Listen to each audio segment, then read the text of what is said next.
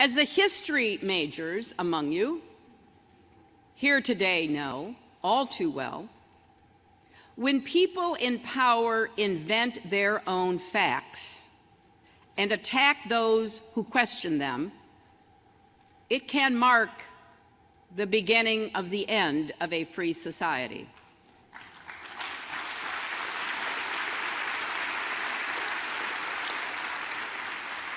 That is not hyperbole. It is what authoritarian regimes throughout history have done. They attempt to control reality, not just our laws and our rights and our budgets, but our thoughts and beliefs. Right now, some of you might wonder, well, why am I telling you all this? You don't own a cable news network.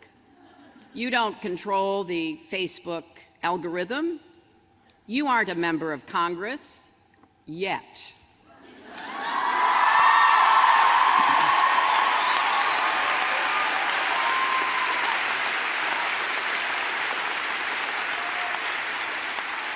Because I believe with all my heart that the future of America, indeed the future of the world, depends on brave, thoughtful people like you insisting on truth and integrity right now, every day. You didn't create these circumstances, but you have the power to change them.